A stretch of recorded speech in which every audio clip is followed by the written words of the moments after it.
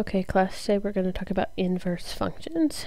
Um, and so to verify that functions are inverses, we're going to compose them using composition. Um, and when you take f of f inverse of x or f inverse of f of x, you should get x out. And using our book's notation, f of f inverse of x equals x, and f inverse of f of x is going to equal x. Um, so that is how we are going to verify. We're going to compose the function and its inverse and make sure that we get x out. And to find an inverse function, um, we'll swap the x and y and solve for y. And then our new y is what our f of x is. Um, or f inverse of x is. And when you swap the x and the y is when you solve your inverse function. Essentially, you're swapping the domain and ranges for f and f inverse. So let's go ahead and do a couple examples. So for example one, we're going to verify that f and g are inverses. So to verify, we have to compose. So we're going to do f of g of x and verify that we get x out, and g of f of x and verify that we get x out. Okay, so we're going to do either one first, but we are going to verify we have to do both. So f of g of x, so g of x equals this. I'm going to write this in. I'm going to take f of the cube root of x minus 1 over 3. So what I did is I'm first finding f of g of x. So I'm replacing g of x here. That's what g of x is here. So I'm finding f of g of x, f of g of x. So I replace g of x, the yellow, g of x here. So now I'm going to plug this, this is my input, and this goes into my f function. So this is the input into the f function. So it's 3 times this is what I'm replacing with x. So the cube root of x minus 1 over 3 cubed plus 1. So we have to simplify this down, and remember when we simplify, we ultimately want to verify to get x out if they are inverses. Okay, so we have PEMDAS, parentheses, and exponent. So um, I have a cube and a cube root, and the cube and the cube root undo each other just like the square and the square root do.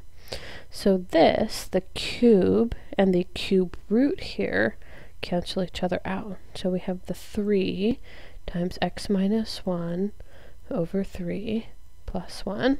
So we did the parentheses um, and the exponent, so now I can multiply, so those go away.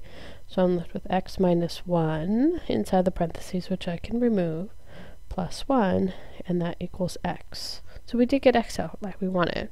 But now we have to verify the other way. We have to verify that g of f of x also equals x. So g of f of x, f of x is, I'll highlight it in green. So here's my g of x, or sorry, my f of x. So that's my f of x. So that's what I'm going to now replace. So this is g of f of x, which equals 3x minus 3, 3x cubed plus 1. So f of x equals that, so all I did was replace it, and now this is going to be my input into my g function. So in my g function, wherever I had an x, is now where I'm going to put all of that.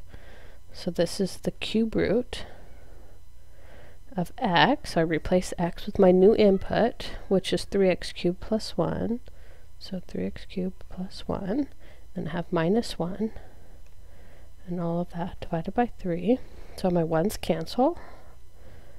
So the 1 and the 1 cancel, so I have 3x cubed over 3. Now the 3's cancel. So this is the cube root of x cubed, and again, the cube root and the x cubed cancel each other out, so we're left with just x. So now that we've verified that f and g are inverses, so again, to verify, you want to compose both directions and make sure you get x out. Okay, so move on to example number two. And in example number two, we want to find the inverse. So to find the inverse, we're going to write, for f of x, we're going to replace it with the y.